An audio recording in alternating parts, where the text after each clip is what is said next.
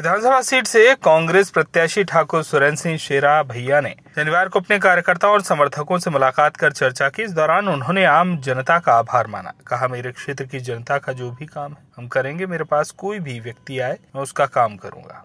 सभी मतदाता सम्मानी बुज़ुर्गों, भाइयों और बहनों, मैं अपनी ओर से आपका बहुत आभारी हूँ। आपके इस प्यार और आशीर्वाद का जो वोट आपने मुझे दिया है, उसके लिए मैं आपका शुक्र अदा करता हूँ।